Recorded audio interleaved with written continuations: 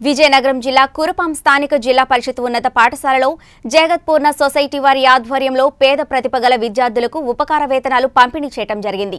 ఈ సందర్భంగా society chairman మంతిని పార్వతీశం నాయుడు మాట్లాడుతూ గత నాలుగేళ్ళుగా నూట యాభై మంది పేద ప్రతిభ విద్యార్థులకు మూడు వేల రూపాయల చొప్పున అందించడం జరుగుతుందన్నారు. ఈ విద్యా సంవత్సరంలో కురుపం హైస్కూల్ ఆదర్శ పాఠశాల Kasturba Sivannapeta high school Madalingi high school నుండి పదహారు మంది విద్యార్థులకు మూడు వేల రూపాయల చొప్పున చెక్లను పంపిణీ చేశారు. రెండు వేల ఇరవై రెండవ సంవత్సరం నుండి డెబ్బై ఐదు శాతం పేద విద్యార్థులకు ఇరవై ఐదు శాతం ప్రతిభ కలిగిన విద్యార్థులకు ఉపకార వేతనాలు అందిస్తామని తెలిపారు. ఈ కార్యక్రమంలో Avanti college director Chandu Subbarao ITDA deputy DEO Chinamohana Rayudu Kurupam మండల విద్యాశాఖ అధికారి నిమ్మక సత్యనారాయణ మాజీ జడ్పీటీసీ కోటేశ్వరరావు కురుపం జిల్లా పరిషత్ ఉన్నత పాఠశాల హెడ్ మాస్టర్ జయరాజ్ మరియు ఉపాధ్యాయులు పాల్గొన్నారు.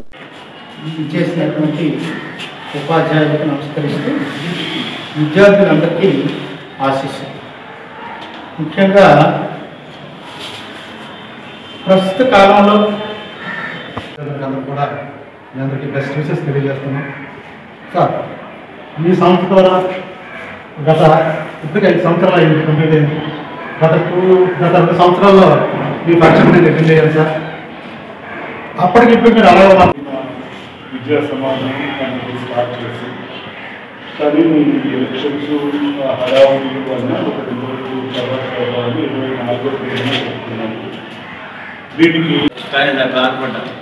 రాకుండా అంతేదాన్ని నీ సంవత్సరం. అంటే విద్యా సంవత్సరం అయిపోయింది. ఏడెనిమిది నెలల పాటు చదువులేదు ఏమి లేదు. పిల్లలు పిల్లలంతా నిన్న మొన్న వచ్చి స్కూల్కి రమ్మని చెప్పేసి. సో ఇటువంటి అయినా సరే ఇవాళ ఏడాది